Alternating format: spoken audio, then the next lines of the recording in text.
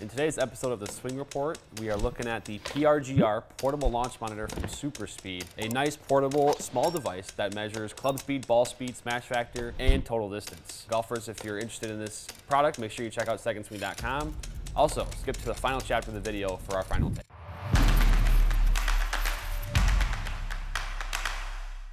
Hey golfers, I'm Drew Mahowald with Second Swing Golf, and I'm joined by Thomas Campbell, Master Club Fitter here at Second Swing. In the tour van today, we've got the PRGR portable launch monitor uh, from SuperSpeed Golf. So, as we know, SuperSpeed Golf, uh, they're all about speed training, uh, helping golfers gain more speed, but you also have to measure that speed. And so, the way that they're helping golfers do that is with this portable launch monitor, like you have in your hand right here. It's not a huge device, it's very lightweight, easy to move around, but gives you the key measurements you're looking for when you're trying to gain that speed. Yeah, it's uh, club speed is important. If Yeah. you want to hit the ball further, it's the number one reas reason to generate more potential distance. Yeah. If you're able to increase your club speed, you can increase more distance. And Yeah. we all know that everyone likes to chase club speed. I did a series doing super speed training protocols. Um, so I was using a radar that wasn't this device. All it was giving me was club speed. Yeah. Now, this is going to give you club speed, ball speed, smash factor, carry, and total distance, which is a nice little added benefit at a pretty small price. Right, exactly. That, that's one of those. It's very affordable. So while you're, you know, investing in the Super Speed program and and um, developing your speed, you can also, for not much more, you know, of a price, you can add in the measurements too, so you know and can see the progress that you're making. If you don't have access to a launch monitor or or something like that. So um, getting into some of the tech here. So I mean. There's a lot of technology packed into this little device, and for again, like you said, not a very uh, steep price. But the cool thing about it too is it's not just for golf. You can use it for baseball and soccer and other sports too to measure, like for example, pitching speed or bat speed in baseball. So it's not just about golf, although for our sake, it is about golf. Right, yeah, and soccer is interesting. We were, Yeah. we were discussing like foot speed or Yeah, yeah. ball speed. I guess every sport wants to measure some kind of speed, Yeah, so which is true. always fun. Uh, One thing I do like about it is you can toggle between yards or meters depending on what metric system that you that you're using. Uh, the other thing is it keeps a history. Yeah. So it keeps a history up to 500 shots. So you can kind of click through here Yep. and look at your previous history. You can look at your, see your gains over time Yep. and see where, you, where you're at there as well. It works indoors and outdoors. So that's really important because most of the club speed training is probably going to be done indoors. Yeah. But you can also take it out with you on the range and see how far that you are hitting the ball. Right. Exactly. That's I mean that's one of those key things too, especially for where we live here in Minnesota, where five months out of the year, uh, pretty much it's too cold to be going outside, and golf course, courses, driving ranges are closed. So you're doing a lot of this training inside, and then you can bring that in the garage or wherever it might be, do your speed training and still measure your speed. So, uh, and then one of these things too is is they've improved, uh, you know, the ability to read high lofted wedges, which we're going to actually test here today. I got my 58 degree wedge, but we're going to see how that does and then kind of see what TrackMan measures as well and see how close it is because obviously budget wise, that's a very very different price. Right. Um, so, but if it's going to be you know a pretty slim margin of difference, then that's a pretty cool and neat product by SuperSpeed here. Yeah, I mean, all you're seeing is the data in front of you here. You're not seeing it projected on the screen, or you're Mm-hmm. Not getting all the other data points that you Right. want to get. But it'll be interesting to see how close it is in accuracy. As you mentioned, we'll test it with your 58 degree wedge, we'll test it with seven iron, and we'll test it with driver. Yeah, I'm excited to see uh, because again, a product like that for its price, um, I think would be a huge hit for golfers here. Well, let's uh, let's get you to hit some shots today, and we'll see what happens. Alrighty.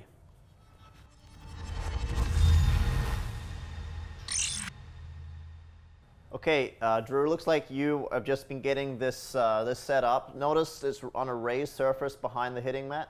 Yeah, so while our the hitting mats here are raised from the floor, so we just evened out the you know level at which so that way it picks up the best. But three and a half to five feet behind the ball is um, you know how you're setting it up, and then you just point it towards your target. So we've got it set up behind, pointing towards target, about three and a half feet behind, and uh, we'll see what happens here. Perfect. Well, let's start with a 58 degree wedge.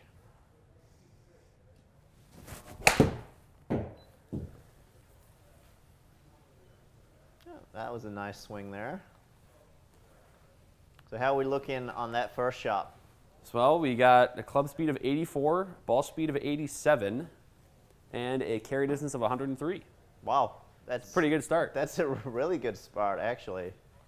Yeah, that doesn't. You don't get really closer Yeah. than that. I don't think. I'm, I was really interested with wedge because we know spin is going to influence distance. So Right. I'm curious because I'm going to say the carry distance and total distance with this is not going to be perfectly accurate all Right. the time because it's not going to pick up spin. Right, because it's I not going to pick up attack angle. And This those are gonna TrackMan is measuring spin and you know all the swing, you know numbers like path and, and face angle and Yep. attack angle and all that. That that matters in distance. Where on here it's just kind of looking at the club speed, ball speed, distance, and smash factor. So Right, but so far that was a good start.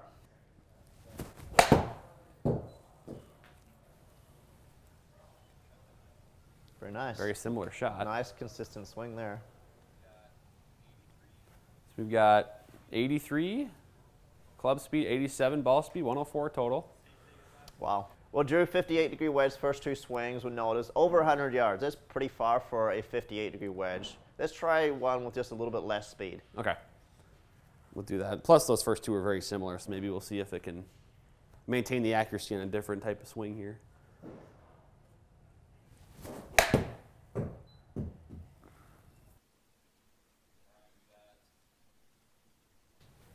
We got a club speed of 70.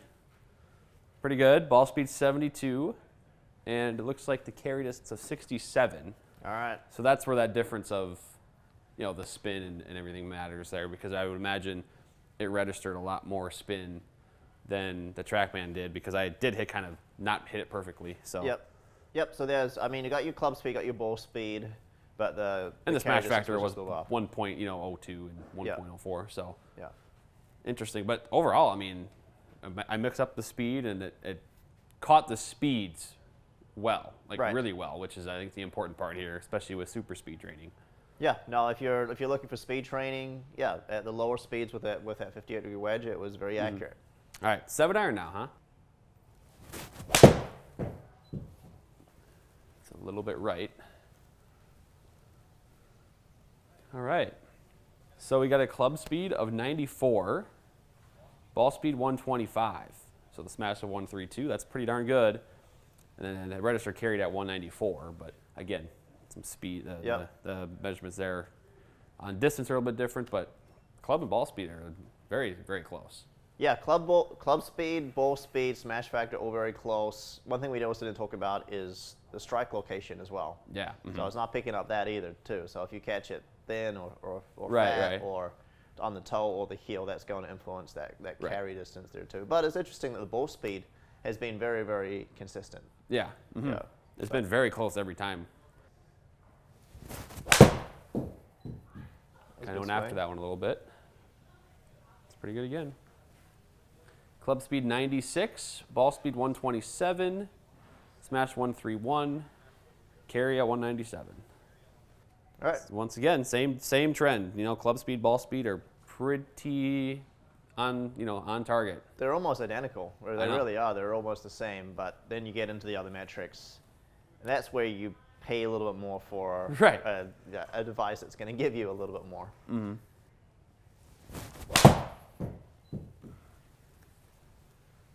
Kind of mishit that one, so we'll see how that goes. Yeah, 94 club speed, 123 ball speed, so Impressive. it's right on top of it, huh? Yep.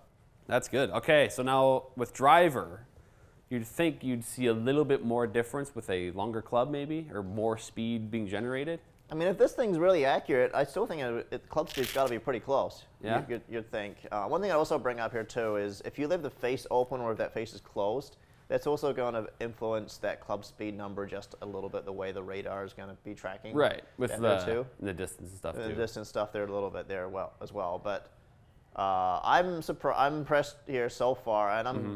intrigued with driver because I mean this is really the main focus, right? Most right, people are driver trying to. is the big dog that Yeah. you are trying to improve on when you you know uh, do these super speed training. So uh, yeah, we'll see what happens here. Some good speed there. Oh wow! So we got 116 club speed, 174 ball speed. Mm-hmm. and then yeah, the carry of 310, which is actually a lot closer too. So Yeah, that's yeah, it's really close there with the driver.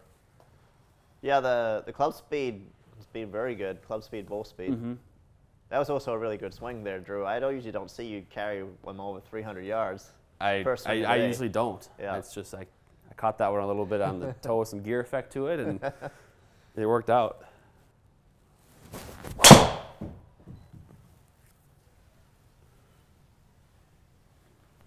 There's that low draw. 118 club speed, 174 ball speed. There 117.9, 174.3. Yeah. God, it's on the money, isn't it? It, it's really, really impressive. Because you see, you know, these these monitors like this that measure this, and they're, you know, down two hundred dollars or under that. It's to see it match up this well is. It's very impressive. Yeah. All right, that'll be interesting because I did not hit that well. A little low left swing there. Oh. Actually, the numbers are still matching up. 118 club speed, 168 ball speed, so I did not hit it good. Yep. 142 smash, which is making sense. So Yep. that's What about the distance numbers? see that's where things get interesting. It says I carry 295, but it probably doesn't factor in that my club was you know closed, Closed. and shut a ton at impact. Right. So Yeah, it's, it's not tracking the, the ball flight. And Right. as we can see with the ball flight there, it's Yeah. low, uh, very low. so that's the next part of super speed training is gaining speed, but making sure you do that while also being able to manage your club face, which I think is the next part. Right. But Yeah. for strictly talking about speed here, I mean, it's measuring everything very precisely. I'm super impressed, actually.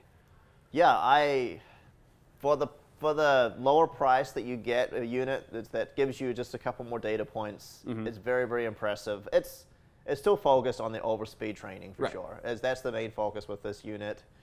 Yes, you can still get some other data points that is somewhat reliable with regards to the carrier and total distance, but you do need more more factors to go into it to Yeah. really Oh, rely yeah. on it. Yeah, mm-hmm. because I wouldn't I wouldn't go to the range and, and hit a whole bucket of balls and say write those numbers down with this unit. Yeah. I would do a little bit more gapping analysis without that unit. to Yeah, honest. but I mean, I'm, I'll have to maybe go back here and look in our kind of the final segment here. We'll go back and look and maybe see how different things work because I can't imagine either club or ball speed were a difference of more than a mile an hour. It seemed like it was right on the money every time. Right. I don't I don't think there was one that was over a mile an hour difference with either club speed or ball speed. And that's and that's with lower speeds and that's with the faster speeds. And that's impressive. I mean it's tracking just the exact same club speed Right. as what TrackMan is tracking. Right? So- It's perfect. I mean, it's it's right on the money. Yeah. So if, you, if you're if you're looking for overspeed training, super speed training, whether you, whatever training device you're using, it's a it's a great unit that we're mm-hmm. going to be stocking here at Second Swing.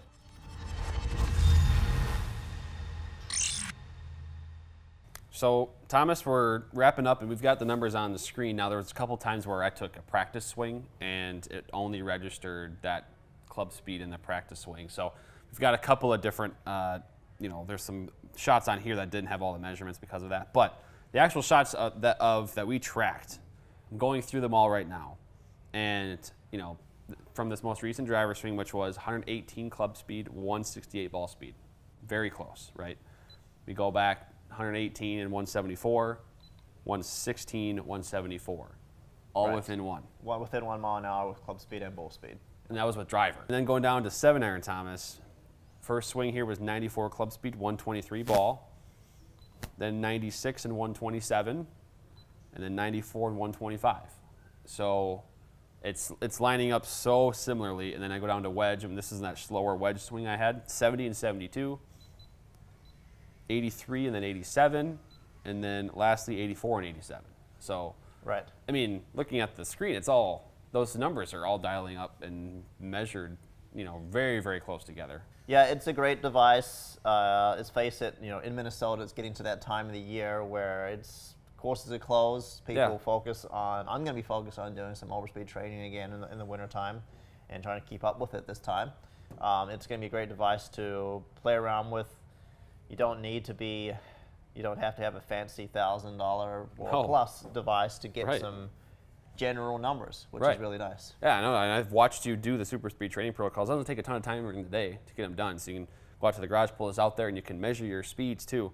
Really nice device here from Super Speed. And like you said, a lot of you know this isn't just a uh, Midwestern United States thing either. Where the the weather's too cold to golf. It's all over the globe. There's times of the year where courses are closed and it's the weather's not great enough to play golf, but you can still keep your swing intact and your speed increasing with the help of this PRGR device and the super speed training, of course. So, um, yeah, I think we get the stamp of approval here from Thomas Campbell and myself.